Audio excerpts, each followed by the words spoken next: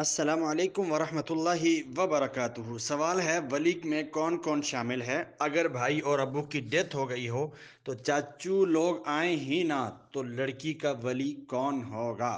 رسول اللہ صلی اللہ علیہ وآلہ وسلم نے فرمایا ایما امراۃ نکحت بغیر اذن ولیها فنکاحها باطل فنکاحها باطل فنکاحها باطل۔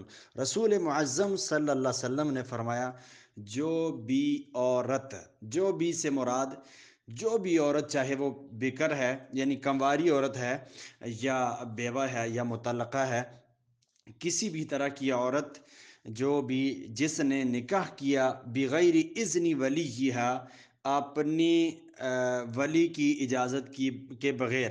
جس نے نکاح کیا فنکاح ہوا باطل، اس کا نکاح باطل ہے۔ فنکاح ہوا باطل، اس کا نکاح باطل ہے۔ فنکاح ہوا باطل، اس کا نکاح باطل ہے۔ یہ جملہ حدیث کے اندر تین مرتبہ موجود ہے، آیا ہے۔ تو اس کا نکاح باطل ہوگا۔ ولی کون ہوگا؟ سب سے پہلے ولی اس کا باپ ہے۔ اور اگر باپ نہیں ہے تو اس کا بھائی ولی ہے۔ اور اگر بھائی بھی نہیں ہے تو پھر اس کے چاچو یا اس کے ماموں وہ لوگ ولی بن سکتے ہیں۔ اور اگر یہ سارا، سارے لوگ ولی نہ ہوں، موجود نہ ہوں اور لڑکی کو شادی کرنی ہے کسی ایسے شخص سے جو دیندار ہے، اللہ سے ڈرنے والا ہے اور اس کے والدین یا اس کے پیرنٹس یا جو اس کے ولی بن رہے ہیں، وہ اس کی شادی ایسی جگہ نہیں کر رہے۔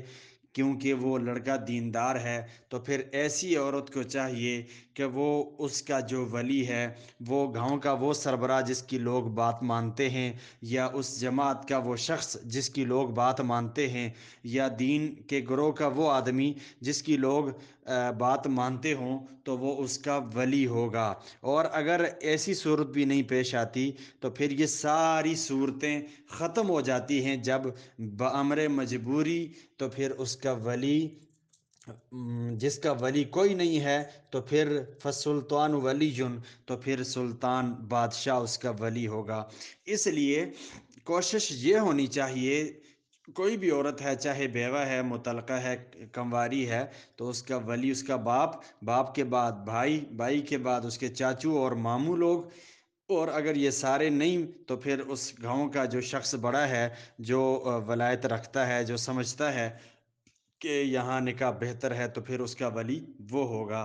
یا گاؤں کے اندر جس طرح آج کل جدید دور کے اندر جو بڑے بڑے لوگ ہوتے ہیں، سربراہ ہوتے ہیں، جس کو آپ بہتر سمجھیں، جس کو وہ بندہ بہتر سمجھے کہ یہ ولی اس کو بنایا جا سکتا ہے، تو وہ ولی قابل قبول ہوگا، شمار ہوگا، بِإِذْنِ اللہ۔ اور السلام علیکم ورحمۃ اللہ وبرکاتہ۔ لیکن یہ بات یاد رکھی جائے، بغیر ولی کے نکاح نہیں ہوگا نہیں ہوگا نہیں ہوگا۔